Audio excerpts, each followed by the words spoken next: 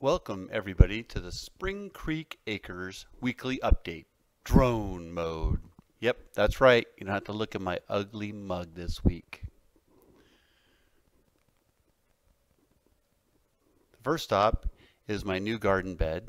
The utility company was nice enough to leave a long ditch. I had to make a bridge, which is at the bottom there. It's really, I just filled it up with wood logs.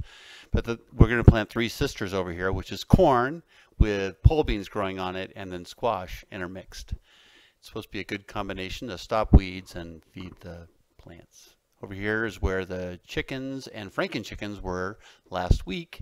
The dark brown spot is where the Franken chickens moved on a daily basis.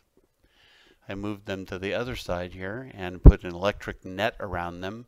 The chickshaw also has a green webbing around it to keep the flock, as I'm calling them now, close to the chickshaw for aerial protection. They apparently do not like drones as they're all hiding.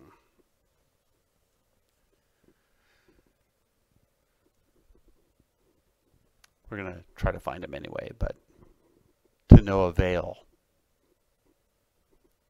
They're being smart. Strange thing. Hide under chickshaw. And in this, the chicken tractor, we have the Franken chickens.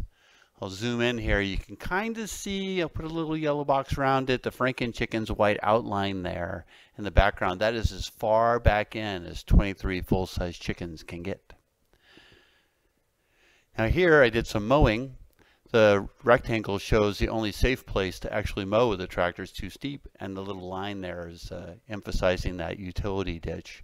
Now they put that utility ditch in 20 years ago, and the only problem is, is they didn't pack it enough. So when you're driving a tractor around on it, uh, it's precarious.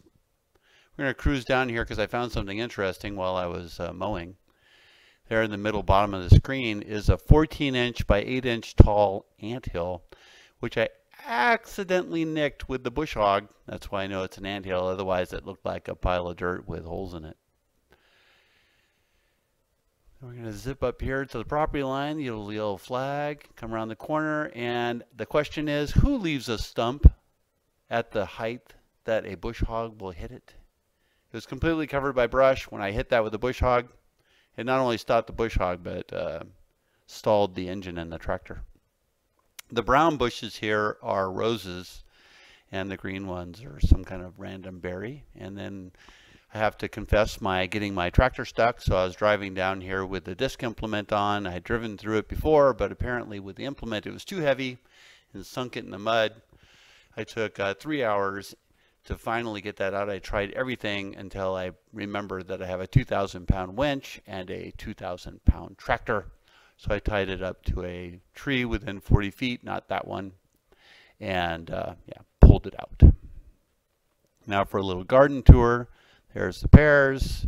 I'm to zip down here and look and see how my spring wheat is doing.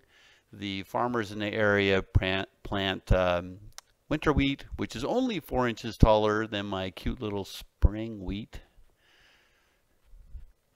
And then we're going to skip over an empty bed. That's the spring wheat right there in the foreground. The weeds are, well, weeds. I'm so lazy. I'm going to skip over that empty bed. It won't be empty next week when we do this again. And the stakes here actually have numbers on one side, so like one and, and one, to show, to remind me of what I planted between the two. This first section I planted squash, not squash, I planted spinach and cabbage. And then there's an empty space. And then here, in the next between the three stakes, I planted three different kinds of beets. And in the next section, I planted radishes. And in the dark section, there's two different kinds of carrots, none of which are normal. The tractor needed an upgrade so we got it a canopy and oh, it makes it so nice. And then we end the video with a little bit of flowers. Have a great week and thank you for watching.